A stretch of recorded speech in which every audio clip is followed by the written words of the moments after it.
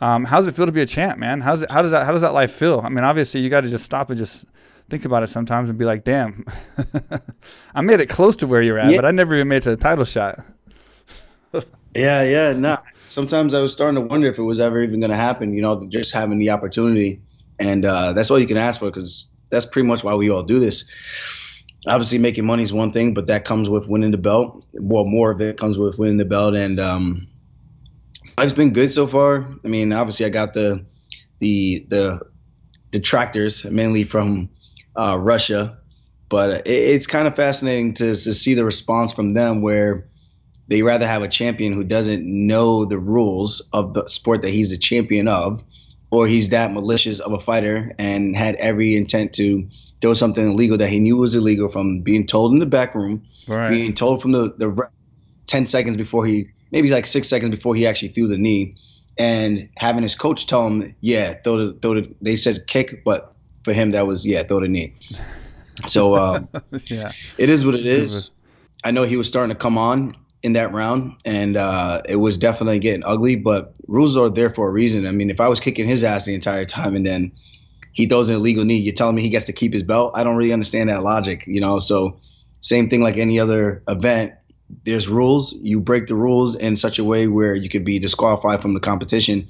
That's what happens. And uh, at the end of the day, we're going to run it back. So hindsight for me, um, I look at it glass half full. And the other side of it, I I get more money you know so yeah. like i've never had pay-per-view points before so this would be the first time i actually get to partake in that it's a big fight and um, i also get a, a big pay bump as being the the, the champion now so um, i'm okay with it it comes with its perks of yeah. this guy not knowing the rules to his sport you know so um, I guess that's the way I could look at it. Glass half full. Like, would I rather not have taken that knee to the head? Yeah, yeah. I think that would have been much better. You know, the ones you don't see usually do the the worst kind of damage to you. So, um, yeah, this is where I'm at now. Yeah, definitely. And then uh, he seems kind of like a tough guy to like. You know, I, I, don't like to talk bad about anybody, and like you know, I keep very political, being that I have an interview show more than anything. Um, but it seems like he's yeah. tough to deal with. On a side note, just from everything else that you're having to deal with, as far as it being him, the one that this happened with, and the controversy and everything else. But he also seems like a, just a tough guy to like. He's, he's kind of like he's not quite like Conor or like Chael or like he's not humorous with it. It's not it's not like you know it's, it's just kind of like it's just he's just, just, kind of an it seems like he's kind of an ass to me. That's this is what I and maybe I'm wrong. I don't know. I just that's how I feel. Yeah.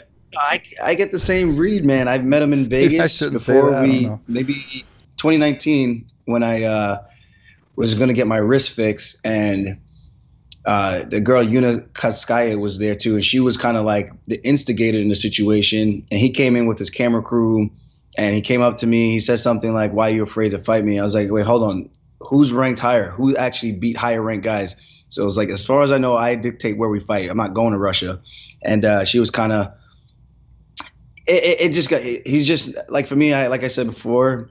I just don't think he's a good person, and I, I think I would have to agree. I think like his jokes come off like they're not really jokes. They're like they have like malicious intent, and they're not really like Conor. I can laugh at all day long. Sean O'Malley, he's funny. He makes jokes. Like even if I had to fight a guy like that, I just feel like for him, it's just you just seem like a dude I just would never want to hang out with, you know. Yeah. But maybe that's just him and how, how they are in Russia. I have no idea.